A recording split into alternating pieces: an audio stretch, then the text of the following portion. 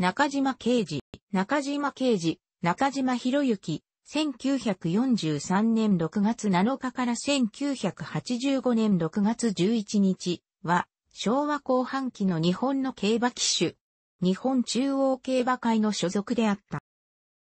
1974年の東京優春、日本ダービー優勝など8大競争を4勝。1970年代から1980年代にかけて関東を代表する騎手であったが、1985年に病死した。通算729勝は当時歴代9位の記録。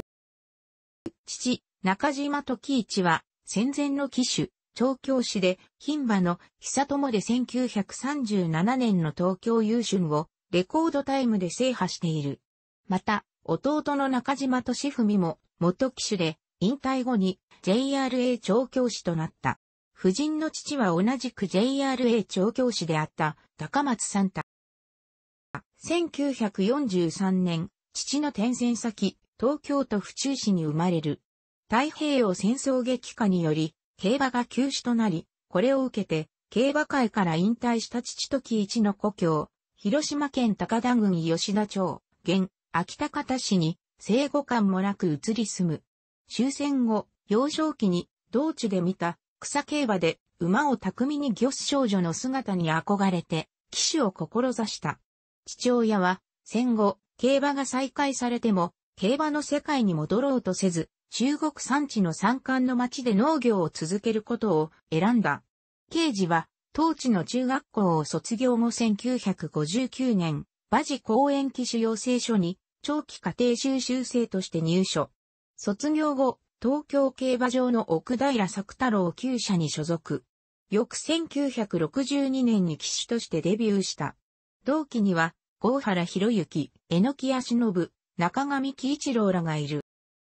デビューからしばらくは、仕掛け、馬へのラストスパートの合図が早く、慌て、中島と呼ばれ、勝ち星こそ重ねるものの八大競争などの大レースには縁のない地味な存在だった。しかし時折人気薄で連に絡んでは大穴を出す、万馬券ジョッキーとして、早くからアナトーファンの間では有名であった。そして1973年に有馬記念でストロングエイトに騎乗し、10番人気ながら圧倒的人気に押された敗成功を破って8大競争を初制覇。翌年にはコーネルランサーで東京優春に優勝し、史上初めて不死でダービージョッキーとなる快挙を成し遂げた。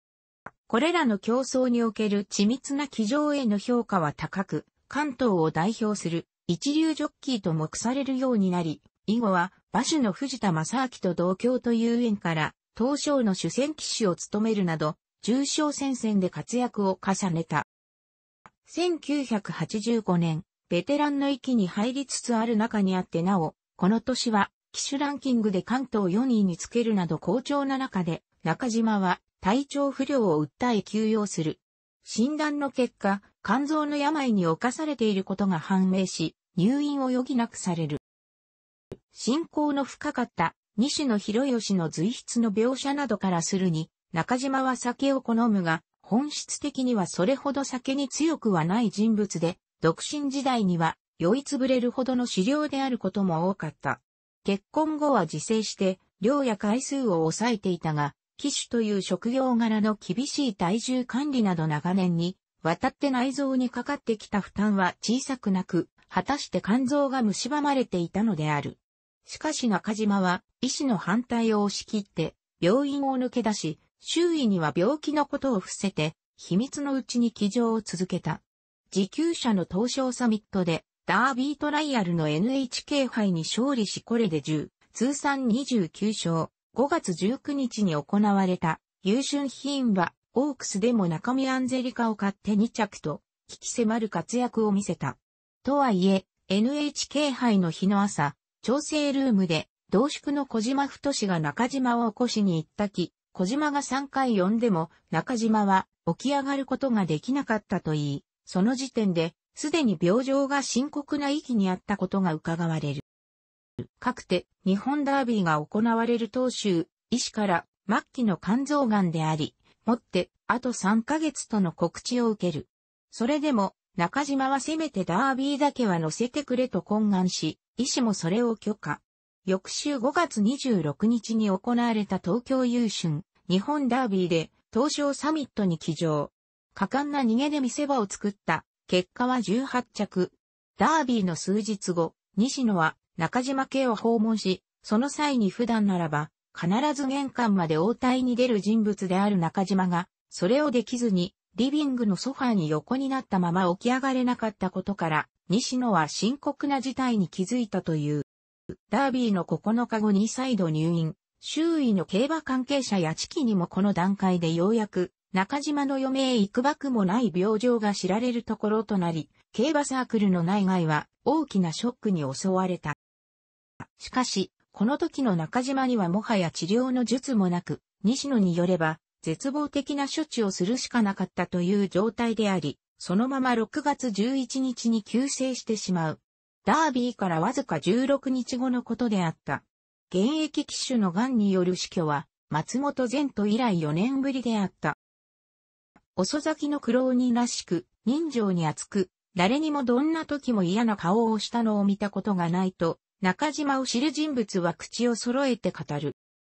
また、その人柄を示す代表的なエピソードとしては、有馬記念における東証ボーイの騎乗依頼を同じ日に多乗で騎乗が決まっているからという理由で断ったというものがある。他にも、コーネル・ランサーでダービーを制した際のインタビューが知られる。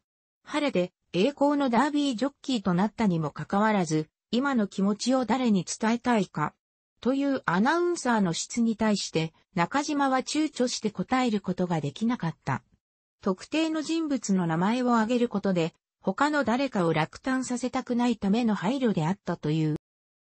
そのような常に相手に気を使う、好人物であったゆえ、競馬サークル内部の人間はもとより、その利害関係から、競馬関係者とは対立することも多い競馬マスコミの関係者にすら中島を悪く言うものがらず、まさに誰からも愛される、好人物であった。とりわけ騎手仲間からの辛抱は熱いものがあり、アンちゃんの愛称で慕われた。日本騎手クラブの役員として、マスコミとも友好的に接し、競馬サークルの内部からも、競馬マスコミの関係者からもいずれは、騎手会長への就任を嘱望されていた。吉永正人、大崎昭一、菅原康夫ら関東の同年代の騎手と作っていた、仲良し会の中心的存在であり、メンバーが重賞勝利した際には、お祝い会を開くなどしていた。また4年下の騎手であった小島太志や師匠である奥平作太郎の息子、正春とは親友であり、奥平正春厩舎も中島は立ち上げから携わり、所属騎手として共に作り上げ盛り立てていった。そのような人物であっただけに、中島旧世が周囲にもたらした悲嘆は大変に深いもので、葬儀では小島太など多くの者が号泣し、取材に訪れた競馬マスコミ関係者さえも多くが泣いていたという。競馬サークル外部の人間にも交友関係を持ち、特に大学教授、中国文学研究者の西野博義とは講師にわたる信仰があり、年上の西野からも弟分のように大変可愛がられていた。西野は日本中央競馬会の機関広報誌、優春1996年7月号に思い出の中島刑事という随筆を寄稿しているが、その中で、いつか自分が死んだ時は中島に会いに行くという言葉を記していい。前述の通り、父、じ一と、不死二代のダービージョッキーである。しかし、不死は、互いのダービー優勝を見ていない。時一のダービー優勝時には刑事はまだ生まれておらず、37年後に、刑事がダービーを制した時には時一は、すでに亡くなっていた。時一は、競馬の世界を離れて以来、広島で農業を営んでおり、刑事が騎手を志していることを告げた際も、端的に馬事公園に行けばいいと言ったのみであったという。刑事は、父がかつて騎手であったという事実は知っていたが、馬事公園に入るまで、ダービージョッキーであるということは知らなかった。記録はすべて日本中央競馬会でのもの。括弧内は、中島騎乗による優勝重賞競争。